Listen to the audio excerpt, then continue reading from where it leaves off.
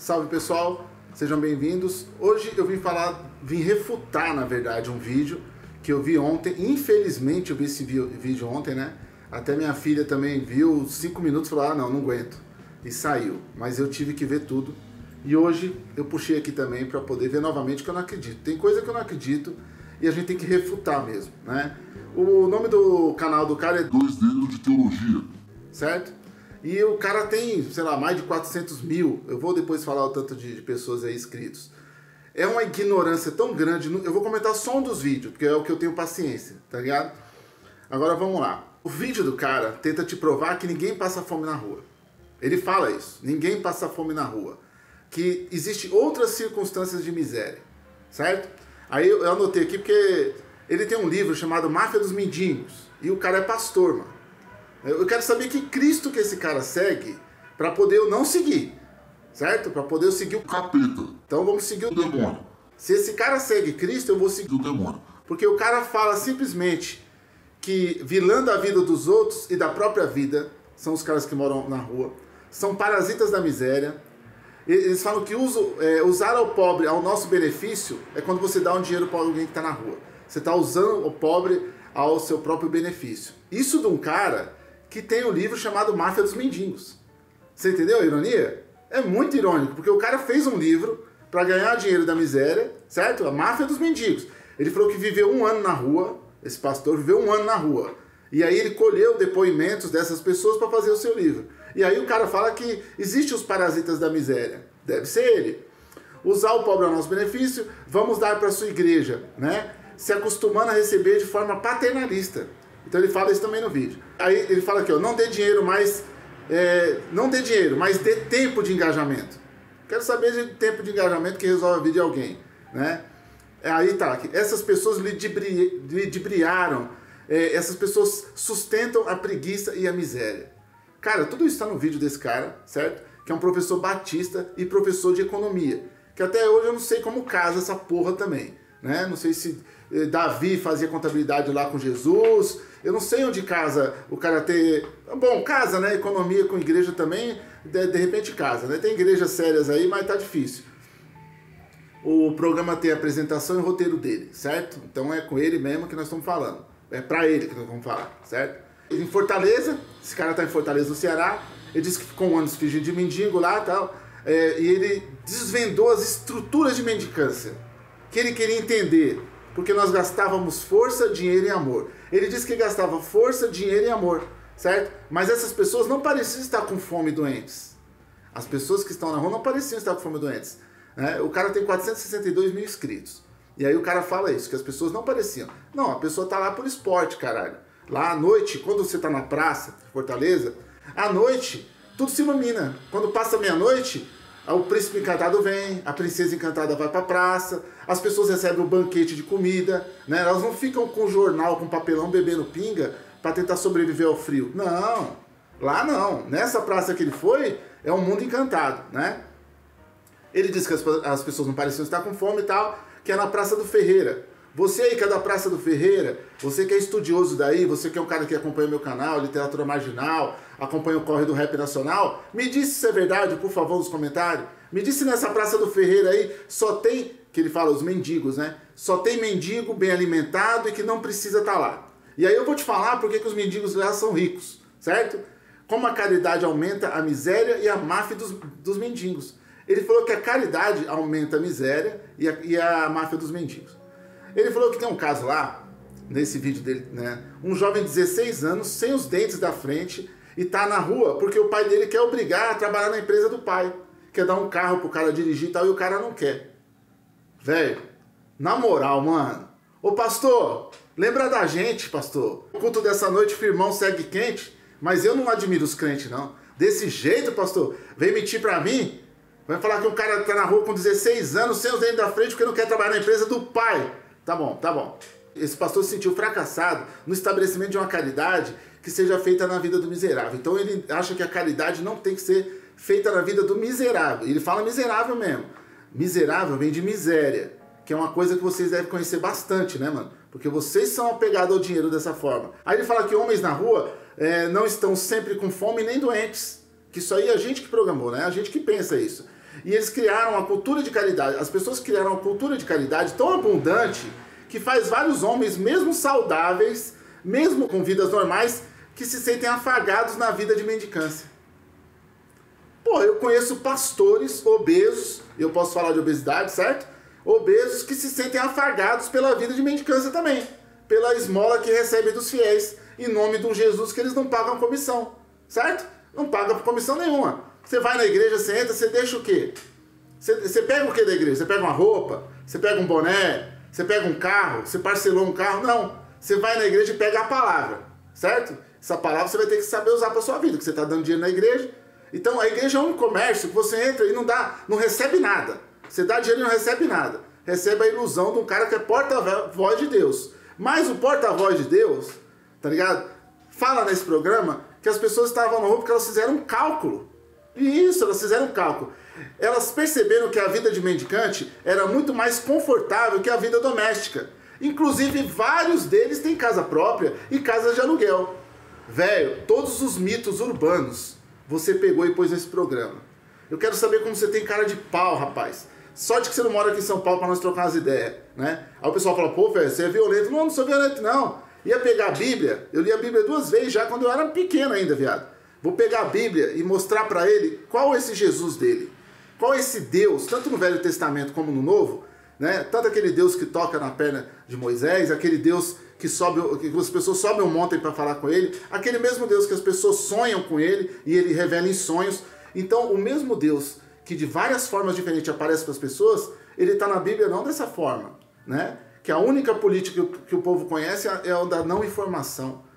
Mano, na moral, irmão, na moral, como você tem coragem, né, de fazer um programa todo voltado para dizimar as pessoas que estão na rua? Não vou nem dizer para você que falta amor, velho, tá ligado? Porque esse Jesus que você tem no seu coração aí, eu não acredito nesse Jesus, não acredito nesse Deus que você tem aí, não é de verdade. Para você fazer um programa, cara, voltado todo para isso, né, mano? A máfia dos mendigos, fazer um livro, ganhar dinheiro em cima disso. Você sabe que tem um ponto de vista de direita conservador quando as pessoas falam de mendicância na rua né? Agora, bondade, irmão, deixa eu te ensinar aqui a palavra. Bondade não vem com nota fiscal.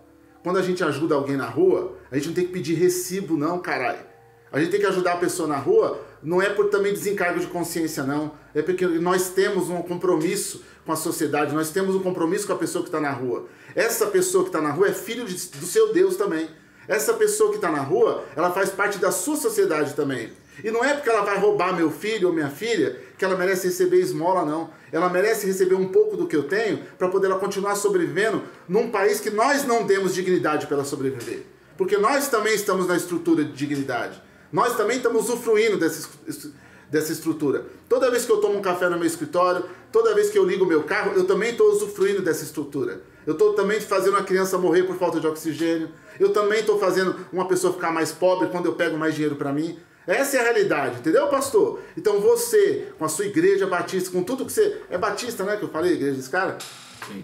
É batista, né? Com a sua igreja batista, eu até printei aqui a igreja dele. Com a sua igreja batista, com tudo que você está fazendo, certo? A, a igreja batista Maanaim. É uma organização religiosa. Tem culto aí de oração sábado, culto de jovens, né? Tem culto pra caramba, porque eles são organizados, velho. Vou falar pra você. O mal se organiza, Iago? Como o mal se organiza? Satanás reina na vida de você. Não é possível não, velho. Ele é autor da Máfia dos Mendigos, tá, gente? É o único livro que ele tem. Aí tá, Record e outras obras. Mas aí não fala das outras obras porque não são tão polêmicas, certo? Nós somos responsáveis pelas pessoas também. Pode ser que as pessoas do seu culto, elas vão aí dar o dinheiro para você, né? E você, de repente, não tem um compromisso com elas, de acompanhar a vida delas, de saber os problemas delas, de tentar ajudar, né? Porque você mesmo disse que essa cultura de ajudar não funciona, né? Mas a igreja é ajudada, é engraçado, né? A igreja é doação. Né? O que, é que vocês fazem? Carneiro, parcelamento, aceita maquininha aí também, né? Então, mano, na moral, mano, pega eu para criticar, pega youtubers, pega é, artistas aí conceituados, pega quem você quiser, velho.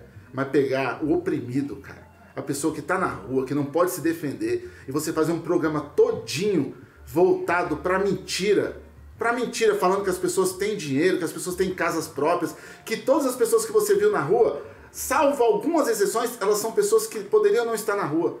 É por escolha. Deixa eu falar para você como eu vejo esse discurso. As pessoas falam assim, ó, O cara pediu dinheiro para mim, mas eu tinha um saco de arroz e aí eu ofereci, ele não quis. O cara pediu para mim, eu quis pagar um pouco de manteiga, mas ele não quis. Isso é a pior desculpa que tem, irmão. Mentira. Mentira de vocês. Conheço ninguém que anda com compra dentro do carro. Não conheço ninguém que para o carro que você quer. Eu queria uma ajuda. Toma aqui um saco de arroz, um saco de feijão, um saco de farinha. Ah, também tem margarina, também tem óleo vegetal. Não conheço. Entendeu? É tudo hipocrisia, mano. A pessoa não quer ajudar, não ajuda, velho. Não quer contribuir, não contribui. A sociedade tá aí se degradando cada vez mais, nós estamos ficando cada vez pior, certo? E aí o cara fala que não tem que ajudar, que você tem que dar um tempo de integridade, você tem que dar um tempo. Porra de tempo, velho. Para pra trocar ideia com as pessoas, pra quê, mano? Se você não vai fortalecer o cara, deixa o cara andar, procurar a comida dele. Mas ele não precisa de comida, né? Que ele tem casa de aluguel, trabalha na empresa do pai, ele mesmo quis sair por cálculo. Você fala que o cara fez um cálculo. Eu fiz esse cálculo e vi que não vale a pena frequentar a igreja. Também sou bom de cálculo. Eu sou empresário também. Eu administrei uma marca durante 20 anos aqui na periferia, uma marca com o nome de um bairro que ninguém queria nem usar a marca. Beleza? Então eu sei de cálculo também. Sou um cara bem realizado no, no meus, na, nas minhas atribulações, né? nas coisas que eu resolvi me aperfeiçoar com a imagem do Senhor. Eu me dei bem nas minhas coisas também. Então você não está falando com nenhum otário, não. Beleza? Inclusive, eu, eu fiz literatura para pessoas que não gostam de ler, para pessoas que não gostavam de ler, para pessoas que não tinham é, ânimo na leitura. Né? A gente desbloqueou muita mente por aí. Olha o seu público aqui, ó. David Barbosa. Certa vez eu estava voltando do trabalho, uma pessoa me pediu dinheiro, alegando que estava com fome. Eu estava com comida e o pacote ainda estava lacrado. Porra, estava com muita fome, mas decidi entregar ele. Ô oh, cristão. Ele simplesmente recusou. Quando ele saiu do ônibus, o cara recusou um pacote fechado de comida. Quando ele saiu do ônibus, pude vê-lo puxando um cigarro e acender. E logo em seguida, puxar um smartphone do bolso. Cara, eu adoro evangélico, velho. Eu, eu amo eles, velho. Eles, eles, eles, eles falam com Deus, né? Eu, eu acho que assim, você tem que falar com Deus se você é um evangélico de verdade. Mas se ele responder, você tá fudido, velho. Vai pro manicômio, certo? O problema é que eu fico imaginando que outras pessoas agem dessa forma, né? Jamais alguém fez totalmente para os outros. Todo amor é amor próprio. Pensa naqueles que você ama. Cave profundamente, isso aqui já é o Henrique, e verá que não ama eles, ama sensações agradáveis que esse amor produz em você. Você ama o desejo e não o desejado.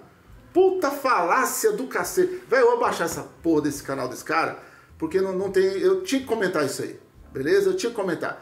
E na internet esse negócio, fala, mano, não pode falar o nome da pessoa, não pode pôr imagem. Não põe sua imagem, não. Fica tranquilo, beleza? Quem explora a imagem de outro ser aí, é você, de outra divindade, né? Que explora a imagem de Deus, põe na igreja e tal. Vou pôr sua imagem aqui não. Fica tranquilão, mas eu tenho o direito de refutar o que você fez, certo? Já que uma pessoa em mendicância, ela não consegue falar por ela própria. Rapa, comenta aí, diga quantos mendigos você conhece, pessoas em situação de rua que eu chamo. Ele chama de mendigo, tá? Só para deixar claro. Então, estou falando os termos dele, mendicância, mendigo. Me diga quantas pessoas em situação de rua que você conhece que tem casas de aluguel, que são ricas, que estão morando na rua no papelão, dormindo porque querem. Porque eu quero conhecer esses caras, velho. Na moral, eu quero. Eu quero conhecer esses caras. Porque esses caras. Que já conhece? Os empresários que vivem em situação desonesta, que vão lá, mudam o nome da empresa, né? A gente sabe que é o público desses caras também é esse, né? Tem a noite dos empresários lá na igreja, né? Que é os caras que mudam o nome da empresa para não pagar direito trabalhista, que aproveita esse desemprego agora para contratar subemprego para tratar as pessoas piores, né? Mas essas pessoas não merecem um programa de crítica. Quem merece um programa de crítica? Pessoas em situação de rua, não tem canal do YouTube, não sabe se defender, não, não sabe não, não consegue ter um, né, uma ideia para trocar, certo? Não consegue ter espaço para trocar. Aí vem um idiota desse aqui, né? um idiota desse aqui que, cara, que desserviço que você faz. É um desserviço. Um cara com quase 500 mil, 500 mil inscritos. Eu, eu li dois comentários aqui e depois fui, fui vomitar no banheiro. Eu fui vomitar no banheiro, de verdade, tá bom? Gente, não sigam esse Cristo, não sigam esse Deus que esse cara segue, certo? Sigam o Deus da bondade.